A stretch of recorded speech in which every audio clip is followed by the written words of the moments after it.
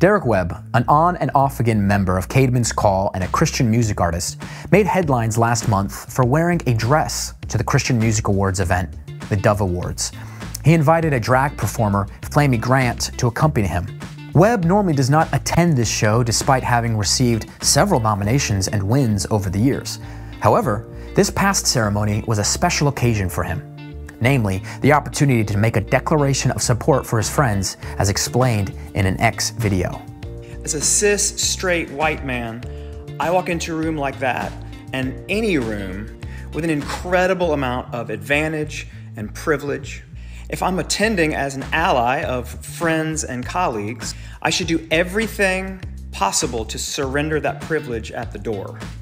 Webb had previously released an album called The Jesus Hypothesis, that challenges traditional Christian beliefs, incorporating themes of inclusivity and acceptance. He drew parallels between wearing drag and the incarnation of Christ, alluding to the power of taking risks in a similar manner to Jesus. The album also has a song made in part with the help of Flamy Grant titled Boys Will Be Girls. Tiffany Arbuckle, another artist known as the lead singer of the Christian rock group Plumb, has expressed her support for Derek's music and sharing the stage with drag queen singer Flamy Grant. Arbuckle has previously expressed her support for the LGBTQ community on Instagram during Pride Month. While some fans praised her for her stance, others have expressed disappointment, citing a difference between loving everyone and supporting Pride Month. Arbuckle encourages understanding and engagement with the LGBTQ community and has stated that this is exactly what Jesus would have her do, as seen in her social media posts. Not all Christian artists, however, are supportive of Webb and his dress wearing activism. Skillet frontman, John Cooper, has criticized what he sees as a weak and passive form of Christianity that allowed a drag queen to attend the Dove Awards.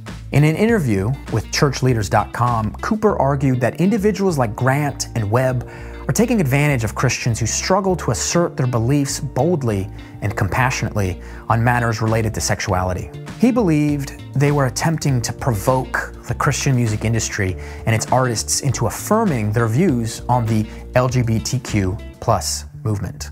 Cooper suggested that Christians should respond with non engagement and cited a biblical reference of 1 Corinthians 5 9 13 to justify ignoring those who claim the name of Christ, yet persist in behaviors that go against biblical teachings. He also highlighted the lack of clarity on sexual morality within the Christian music industry and expressed the view that Christians have become increasingly reluctant to express biblical sexual ethics due to fear of backlash and marginalization. He also found it surprising that some Christians were accommodating Webb and Grant, emphasizing the urgent need for clarity and boldness within the Christian community on hot button issues. He believes that Christians need to address these matters with courage and conviction, rather than allowing such disruptions to take place. Additionally, a non religious entity, the Recording Academy, the Grammys people, have removed Flamy Grant's song Bible Belt Baby from the Best Christian Song category and moved it to the Pop category. Apparently, just having Bible in the title and mentioning biblical characters in your song does not actually make it one.